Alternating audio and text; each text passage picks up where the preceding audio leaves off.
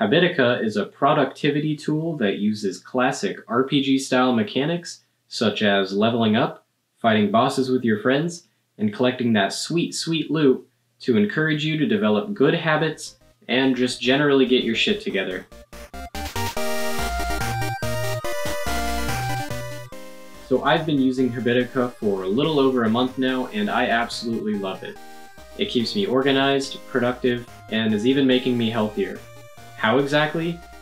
Well, I'll show you, starting with the basic mechanics of the game. Before we get started, I'd just like to note that I'm going to be showing you everything in this video on their website, but they do have an app that's available on Android and iOS. I do encourage you to use their website whenever possible because their app can be a little buggy, but I understand the convenience of having it right in your pocket, so whatever works best for you. Anyway, basic mechanics. After you've signed up and set up your character, next to your avatar you will see these two bars, one for health and one for experience. Experience is gained when completing tasks, and once you've reached a certain amount of experience, you'll level up. Leveling up will unlock various different things. Mainly at level 10 you unlock the class system and a mana bar will be added here as well, but more on that later. Health works a little differently as you won't be gaining any from completing tasks, but rather losing health when missing them. Also, whenever your health reaches zero, you will die. Dying will drop you one level as well as resetting any experience and gold you had to zero, so try to set realistic goals when using this app. Moving down below your avatar you will see three boxes, one for habits, one for dailies, and one for to-dos. Whatever you're using Habitica for, you're going to be divvying up your tasks into these three main categories. Habits are things that can be done more than once a day and can be good, bad, or even both. Let's say you're trying to watch what you eat, so you add a habit called eat healthy food or eat junk food. We'll set it up to be both positive and negative, and now whenever you click that plus sign, you'll be rewarded with experience and gold. However, when you click the minus sign, your health will drop slightly. There are so many different ways to set these up, so get creative. Dailies are things that are scheduled and repeated. Don't be fooled, dailies don't actually need to be everyday things. They can also be on specific days of the week, or repeat every week, every month, or even every year. When you check off a daily, you will be rewarded with experience and gold. The difference between these and habits is that you will take damage if you don't check off a daily the day it's due. These are especially useful for establishing everyday routines, Finally, we have to-dos. They are usually only done once, and while you can set due dates for them, you will never take damage from missing them. To-dos will also reward you with more golden experience the longer they've been in your list. I don't know if there's anything else to say here other than it's a to-do list. But fun! Also, you can assign a difficulty when creating any of these three types of tasks. The harder a task is, the more golden experience you will get when completing it but it also increases the damage you take when missing a daily or giving into a bad habit. Now you might have noticed this fourth box over here, the Rewards tab. You can create a reward and assign it a cost in gold, so whenever you want to relax and watch some TV, you'll have to kick a little coin to remind yourself you're not being productive. Under your rewards are some pinned items from the market, if you're motivated more by virtual items rather than real life stuff. So, that's a perfect segue into the market. Here is where you'll spend all the gold you've earned from bettering yourself as a human being.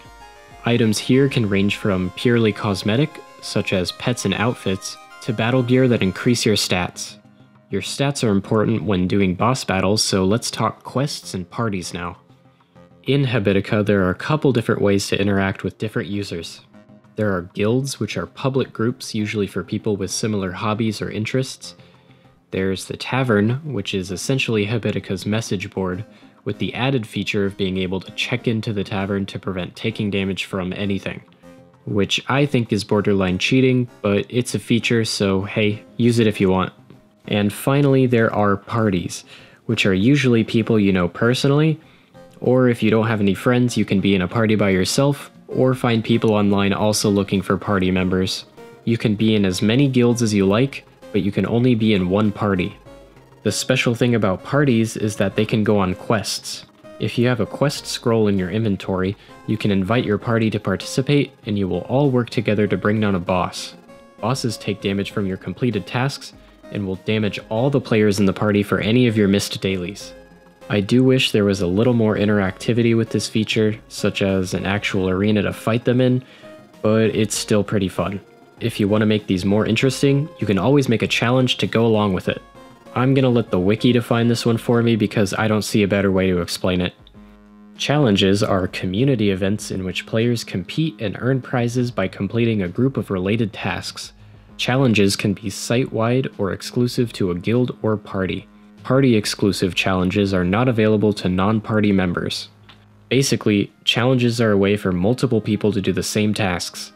You can join any challenge that's public, any challenge that is run by a guild that you're in, or any challenge created inside your party. I've used party challenges so my roommates and I all have the same deep clean task to ensure it actually gets done every week. Which it doesn't, but at least we take damage from it when we don't, so maybe eventually we will. Finally, I'm going to quickly go over the class system. Once you hit level 10, you will be able to choose between becoming a warrior, mage, healer, or rogue. As you level up past level 10, you will also learn different skills, Casting these skills will use mana from the mana bar I mentioned at the beginning of this video. I encourage you to read into the strengths and weaknesses of each of the classes once you hit level 10, and see what kind of gameplay you'll enjoy the most. And those are the basics of Habitica. It's obviously not for everyone, but if you want to have that constant feeling of progression you get from RPG games injected into your everyday life, then it's pretty amazing. As for me, this video probably wouldn't even exist if it weren't for Habitica. As you can see, most of my tasks are pretty basic routine stuff, but the most important ones are these creativity tasks. I'm very prone to putting off my creativity for any reason I can find. These tasks force me to spend at least some time every day working on creative projects, so I don't end up with another two year gap in between my videos. Also, if you come to find that you are unsatisfied with certain aspects of Habitica, change it. It's open source. You can contribute by writing code, creating pixel art, submitting to the wiki in so many more ways. Also, as you contribute, you can earn contribution badges on your profile so everyone knows how cool you are. And you can get gems, which currently can only be bought with real money. So get to it. I hope this video helped you, whether you were on the fence about joining or just wanted to know about all the different features. If you enjoyed it, don't forget to leave a thumbs up. If you have any questions, feel free to leave a comment, and if you really, really like me, go ahead and subscribe. Either way, thanks for watching. I have so many tasks to check off now. Done, done, and done. Ah, that's nice.